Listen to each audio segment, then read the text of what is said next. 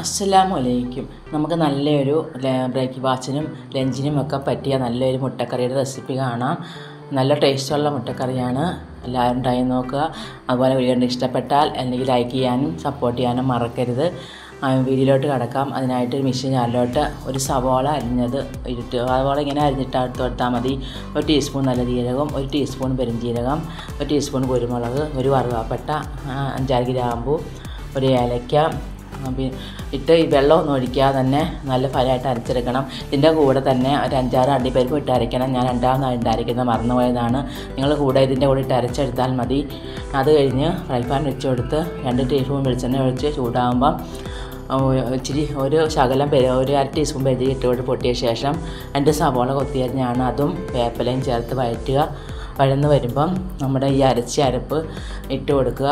എന്നിട്ട് ചെറിയ തീയിൽ നല്ലപോലെ വഴറ്റിയെടുക്കുക അതിന്റെ കൂടെ ഒരു ടേബിൾ സ്പൂൺ ഇഞ്ചി വെളുത്തുള്ളി ചതച്ചത് പേസ്റ്റ് ആയാലും കുഴപ്പമൊന്നും ചതച്ചെടുത്താണ് ഞാൻ അതിട്ട് കൊടുത്ത് അതിനകത്തോട്ട് നല്ലപോലെ വഴറ്റിയെടുക്കുക വഴറ്റിയെടുക്കണം മീഡിയം തീയിൽ വഴറ്റാവുള്ളൂ വഴന്ന് വരുമ്പം നമ്മൾ ഒരു തക്കാളി അരച്ചെടുത്തതാണ്. അതിങ്ങനെ അത് ഒഴിച്ചു കൊടുത്തിട്ട് അതും കൂടെ അതിന്റെ പച്ചപ്പണം മാറും വരെ അതും കൂടെ ഒന്ന് വഴറ്റിയെടുക്കുക അതിനുശേഷം ഇതിനകത്തോട്ട് നല്ലപോലെ വഴന്ന് വരുമ്പം അതിനകത്തോട്ട് ഒരു ടേബിൾ സ്പൂൺ മല്ലിപ്പൊടിയും ഒരു ടേബിൾ സ്പൂൺ മുളക് പൊടിയും അര ടീസ്പൂൺ മഞ്ഞൾപ്പൊടിയും ഇട്ട് കൊടുത്ത് ചെറിയ തീയിൽ പൊടിയുടെ പച്ചവെണ്ണം മാറിയ ശേഷം മാറിയ ശേഷം ഇതിനകത്തോട്ട് നമ്മുടെ മിക്സി അരച്ച മിക്സി കഴുകി അതിനകത്തോട്ട് ഒരു കപ്പ് വെള്ളവും ഒഴിച്ച് കൊടുക്കുക. നല്ലപോലെ നല്ല കുറുകി വരുന്ന കറിയാണ് നല്ല അരച്ച് നല്ല നല്ലപോലെ വെള്ളം ഒഴിച്ച് കൊടുത്തിട്ട് ഒരു ടീസ്പൂൺ ഉപ്പ് ഇട്ട് കൊടുക്കുക.